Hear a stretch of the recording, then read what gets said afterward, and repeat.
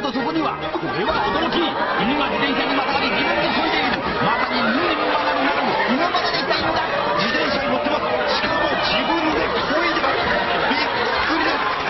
現在日本が勝利の自転車を漕ぐ犬その名はモモ君モモ君の自転車を漕ぐその華麗な姿は近所でも評判いつも注目の的なのだ。飼い主の話によるとこのモモ君小さい頃から自転車にただならぬ興味を持っていたらしい。